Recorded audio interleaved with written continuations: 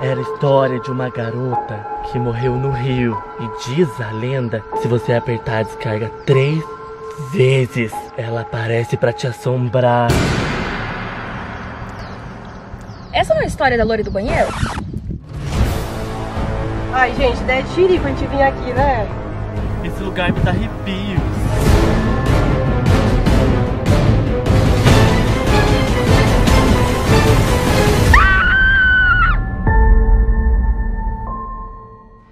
Cara de boi! Vocês acabaram de ver esse trailer desse filme de terror incrível que vai sair aqui no canal na sexta-feira e devem estar se perguntando aonde eu aluguei a roupa que eu estou usando. E a resposta é em lugar nenhum, porque eu mesma fiz a minha roupa com a ajuda da minha mamãe. Então, se você está procurando uma roupa pro Halloween e tá sem grana para gastar e gosta de botar a mão na massa, esse vídeo é certo para você, porque com esse mesmo molde você pode criar várias fantasias diferentes. É só você soltar a sua criatividade. Então, antes de tudo, já deixe seu joinha aqui embaixo do vídeo e se inscreve, né? E dá joinha, ativa o sininho e essas coisas assim todas. E para fazer essa fantasia, eu usei 5 metros de tecido. O tecido que eu usei foi o Oxfordine e eu paguei 7 reais por metro. E foi basicamente a única coisa que eu usei, tirando linha e etc. Então, se a gente for calcular, custou 35 reais.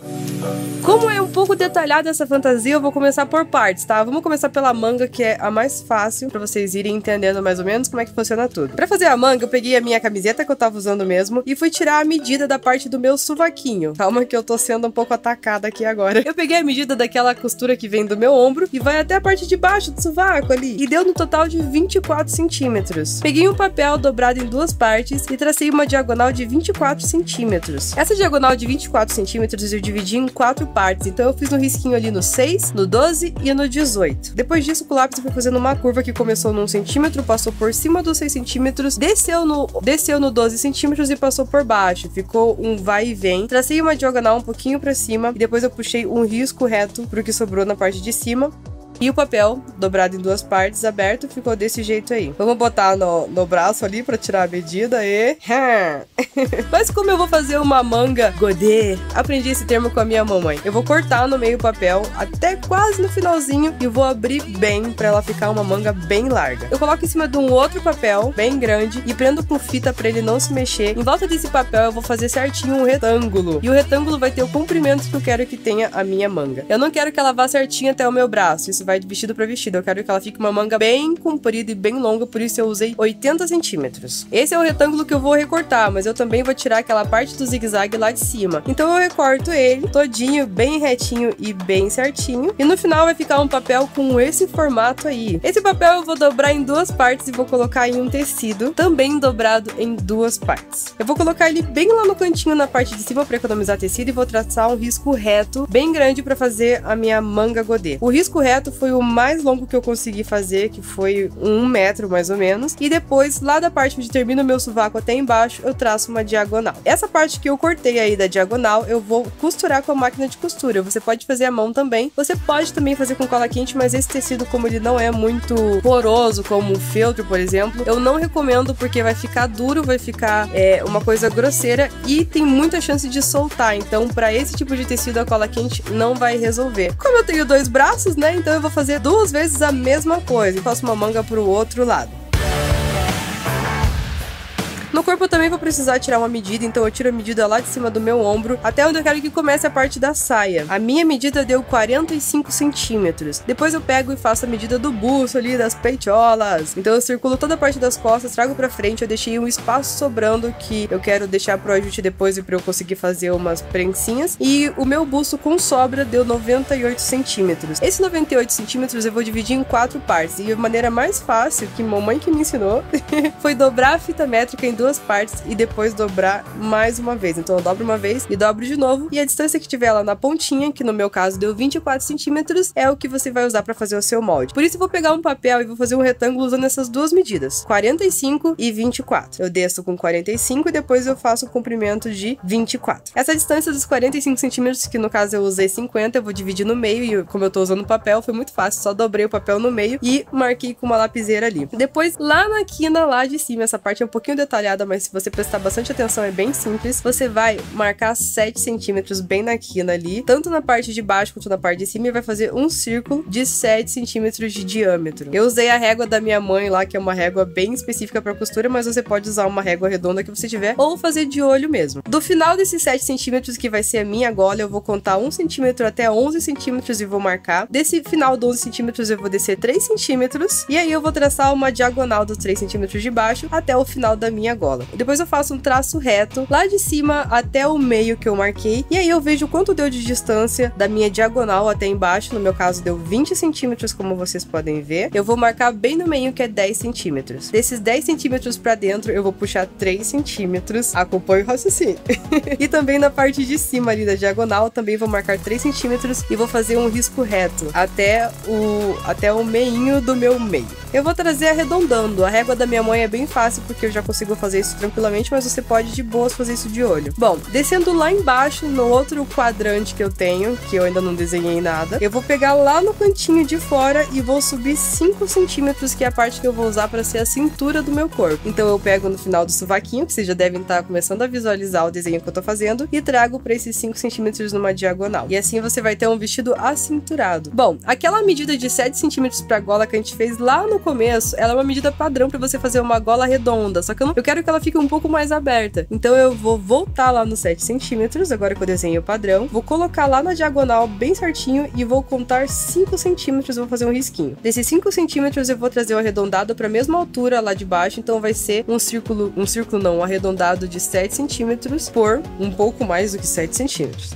Deu pra entender, né? Se você seguir o raciocínio para fazendo por partes, pausando o vídeo, você consegue fazer isso com tranquilidade. Olhando assim corridão parece um pouco assustador, mas é bem tranquilo. Inclusive esses moldes que eu tô mostrando aqui, você pode comprar pronto em loja de costura, só que são o olho da cara. Então vai pausando o vídeo aí de boas que você vai conseguir fazer, eu tenho certeza. Recorto tudo e eu tenho o molde da parte da frente, mas eu tenho que fazer o molde para a parte de trás do meu vestido. E vai ser bem parecido. Para começar, eu vou fazer um retângulo do tamanho do mesmo retângulo que eu usei para a parte da frente. Eu vou usar essas mesmas medidas como referência, mas eu vou começar a desenhar lá do gatinho, só que eu vou dar uma distância de uns 3 centímetros, que é, uma, que é um espaço de tecido que eu preciso para colocar o zíper. É, gente, você vai ter que dobrar os dois lados, se deixar do mesmo tamanho, vai ficar menor as costas do que a frente. E não é o que a gente quer. Então eu conto lá 3 centímetros, posiciono o meu molde da parte da frente, faço um risco reto para saber da onde eu começo a desenhar o meu retângulo. E aí, a parte de trás, da parte do ombro, todo o meu molde da frente. coladinho ali em cima, ela é um pouco mais alta atrás. Então eu vou pegar a fita métrica exatamente na mesma direção que tá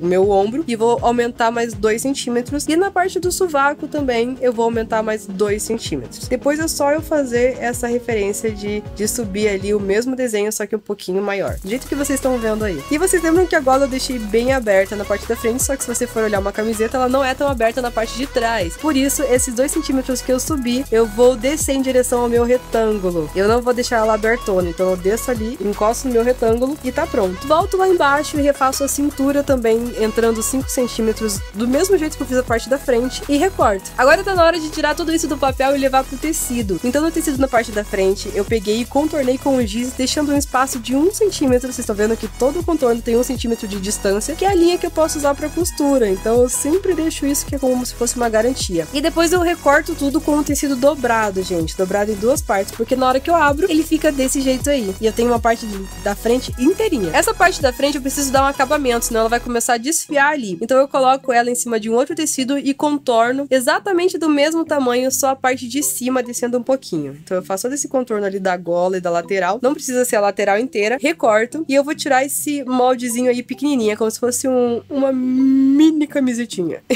não precisa ser muito, mas se for pouco também vai começar a sair para fora e vai ficar visível. Esse tamanho aí tá bem ideal. Encaixa essa parte do meu tecido da frente, grudo com alfinete e aí só a parte de fora, só a parte de fora eu vou costurar.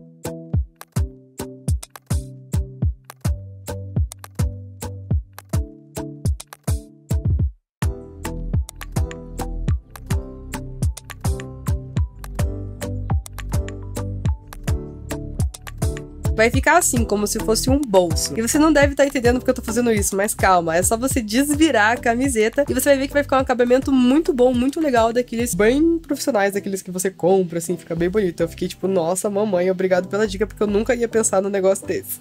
Depois é só você desvirar e passar com o ferro para fazer um vinco bem forte e ficar bem bonito. Separe e agora vamos para a parte de trás. A parte de trás é a mesma coisa, você pega o tecido dobrado em duas partes, contorna ele, lembrando que tem aquele espaçamento ali de 3 centímetros pro zíper e recorta com uma sobra de 1 centímetro. Na hora que eu tirei o molde e abri o tecido, eu falei, rapaz do céu, que costas, hein? Eu não imaginei que eu tinha uma costa desse tamanho, mas é porque eu tinha esquecido que tinha parte do zíper e é exatamente isso que a minha mãe tá explicando agora. Tem uma dobrinha que você faz pro zíper, então você perde bastante. Por isso, eu prendo meu tecido com alfinete e aquela parte do meio que o tecido tava dobrado, eu vou recortar. Eu preciso abrir minhas costas em duas partes. Isso foi muito estranho de falar, mas tudo bem. A mesma coisa que eu fiz na parte da frente de cortar um pedacinho ali exatamente igual e costurar, eu vou fazer aqui na parte das costas também. Só que como são duas partes, eu vou fazer em duas partes essa costura. Então eu encaixo o alfinete ali e costuro só a parte de fora. Se você costurar a parte da dentro, vai ficar parecendo um desenho de uma costura que não é nem um pouco a ideia que a gente quer, né? Então eu levo a máquina de costura e minha mamãe linda que tá super feliz em me ajudar vai costurar ali. Inclusive ela falou que se eu deixasse o rosto dela aparecendo no vídeo, ela ia comer meu fígado e nunca mais ia me ajudar. Desculpa, mãe. Desculpa. Bom, temos a parte da frente, temos a parte de trás. Agora o que a gente precisa fazer é unir essas duas partes. E eu começo encaixando ali, lado do avesso com lado do avesso, para eu poder costurar bonitinho. As duas partes do ombro são essas partes que eu vou começar grudando. Não é só grudar tudo na louca, não, não é assim que funciona. Então eu junto com o alfinete as partes do ombro e costuro essas duas partes. Depois disso eu já tenho uma noção, já grudei essas partes, agora eu vou unir as laterais. Então eu pego um alfinete ali e prendo as duas laterais e costuro. Ele vai ficar como se fosse um colete. Beleza, essa é uma parte que já começa a dar aquela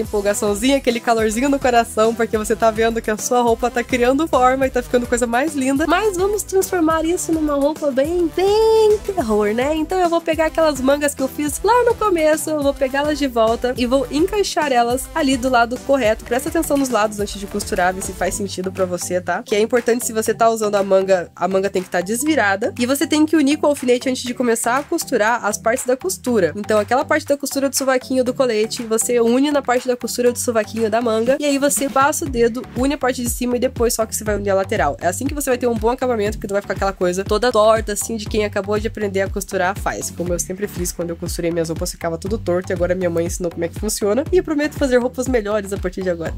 e aí, você deve estar pensando, mas como que eu vou costurar isso se já tá fechado tanto a parte do colete quanto a parte da manga? Oh my god. É muito simples, gente. Se a sua máquina de costura for como a minha, ela tem uma parte que sai, que é para deixar o bucal assim um pouquinho menorzinho, que é para você encaixar barras de calça ou mangas. Você arranca essa parte encaixa a sua manga ali dentro e costura. Simples assim. Tomando cuidado para costurar do lado do avesso, tá, gente? Sempre costure do lado do avesso. Então eu vou circulando e costurando a minha manga. Eu faço isso na outra manga do outro lado também. E agora você fala: Meu Deus, que loucura! Eu tenho um colete com uma manga comprida. Oh, meu Deus, que coisa incrível! E é assim que ficou o meu colete. Então vamos pra parte que eu, na minha opinião, é mais legal, que é a parte de finalização. E também, para mim, é muito tranquilo que é a parte da saia. Pra saia, eu venho novamente tirando a medida. Eu vou precisar de duas medidas, uma do comprimento que eu quero a minha saia. Então eu resolvi fazer ela com 1,30m, porque eu quero que ela fique bem longa. Então eu tirei a medida das minhas pernas e deixei com 1,30m. Lembrando que, como eu quero fazer uma coisa bem terror, eu deixei a parte da frente mais curta, porque eu quero que fique aparecendo meus pés sujos de barro. E a parte das e a parte de trás eu deixei mais comprida. Então você toma cuidado de fazer isso. Como a gente vai fazer isso duas vezes, você faz uma mais curta e uma mais longa se você quiser esse mesmo efeito. O primeiro eu fiz com 1,30m e o segundo eu fiz com 1,10m. Tirei a medida ali certinho do comprimento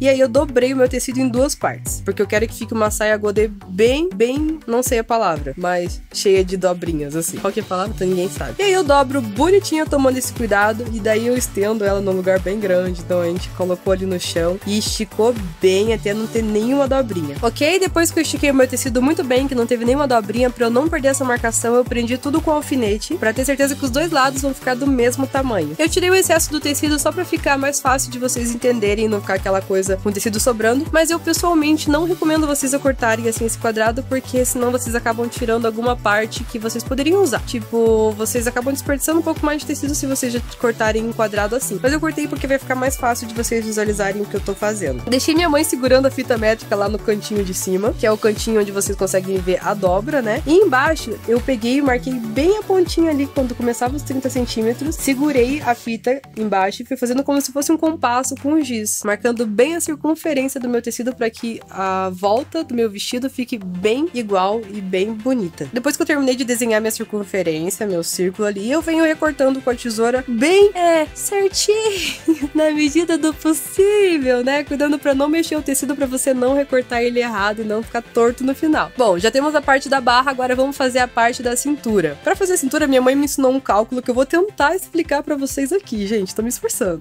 eu tirei a medida da minha cintura inteira da circunferência ali, sem apertar muito, e deu 77. Aí eu aumentei um pouquinho para 78 para ter aquela linha de costura, que vocês sabem que é sempre bom. E aí, para eu saber certinho o que, que eu vou conseguir fazer, já que meu tecido tá dobrado, eu tô fazendo um quarto dele, eu vou, ai meu Deus, botar numa calculadora 78, eu vou dividir por 6.28, que é o dobro de pi. Não sei porque eu falei isso, porque nem eu entendi porque eu falei isso, mas beleza, só para vocês entenderem a referência. E o total vai ser o diâmetro que você vai fazer o seu círculo. Então, no meu caso, deu 12. Por isso eu vou prender ali bem na pontinha de cima, a botinha inversa ao que eu fiz a minha barra, um alfinete e um dedo de pé enfim. E vou fazer um círculo como se fosse um compasso de 12 centímetros. Sai pé. Parece pequenininho, mas fica de boas que vai caber na sua cintura sim. Depois é só você cortar com a tesoura e fazer isso de novo.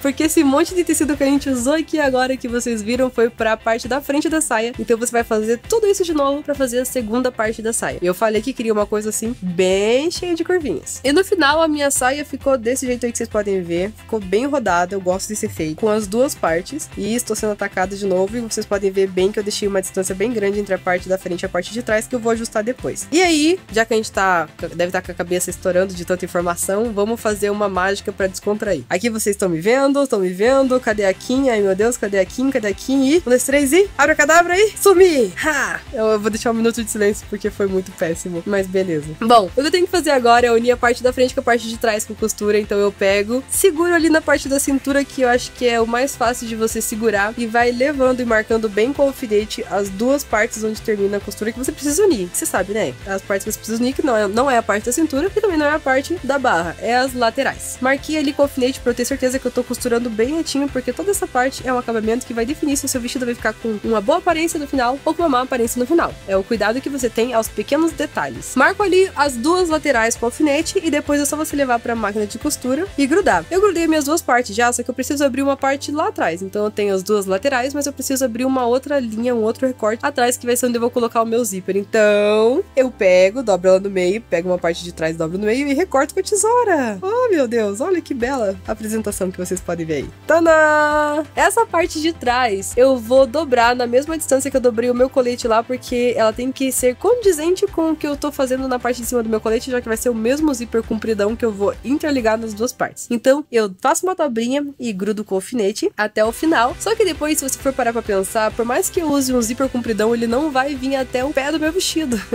ele vai vir pro meu colete e depois ele vai descer talvez uns 10 ou 15 centímetros pra minha saia só. Então, a parte da barra até uns 15 centímetros acima, eu vou juntar, porque essa parte eu vou grudar uma na outra e vou deixar essa aberturinha da dobra pra eu grudar o zíper. E agora, antes do zíper, antes de fechar o vestido, eu preciso fazer uma coisa muito importante que é unir a parte do corpo com a parte da saia. Então, eu abro a minha saia, abro o meu colete dos dois do lado do e venho grudando com alfinete essas duas partes certinhas, unindo as partes da costura, gente. Então, vocês podem ver que na parte do corpo do meu vestido, quando eu for provar, vocês vão ver que surgiu uns vincozinhos, foi uns dobradinhos para dentro que eu fiz e costurei. Na hora que eu provei no meu corpo, eu vi que ficou um pouco largo, então esses vincozinhos vocês podem fazer normalmente, é só você dobrar para dentro e costurar. Eu tomei o cuidado de dobrar tanto a parte de dentro quanto a parte de baixo no mesmo lugar, para na hora que eu for costurar não ficar aquela coisa torta. Então, você sempre, na hora de unir uma peça a outra peça, olhem onde estão as costuras. Fez isso, grudou com o alfinete, é só você passar a máquina de costura, as duas partes estão unidas, e aí fica a parte mais algumas pessoas consideram de boas, outras um pouco mais difícil, mas a questão é só você ter a prática e, e entender mais ou menos como faz para grudar um zíper, que aí você vai ter que pedir ajuda da sua avó e da sua mãe, porque depende muito do zíper que você vai usar, mas aí é só você encaixar o zíper, fechar a saia e o seu vestido está praticamente pronto. Aí você vai perguntar, você não fez barra embaixo e nem nas mangas? Não, não fiz porque eu quero que desfie mesmo, porque eu quero que tenha esse efeito de vestido que tá arrastando no chão, tá sendo destruído porque condiz com o personagem que eu vou criar para o curta-metragem que eu tô fazendo. Mas se você quer colocar a barra e tem a ver com a fantasia que você tá criando, é só você virar para dentro e fazer a barra bonitinha, tá, gente? Pra dar o um acabamento, provei o vestido aí, ó, vocês já podem ver como ficou.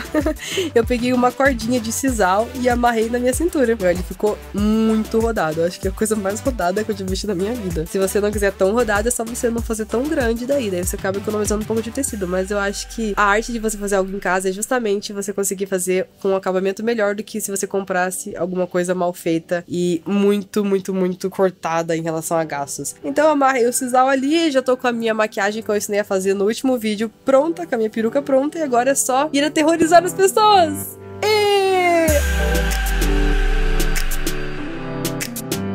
Um beijo, tchau! Someone like you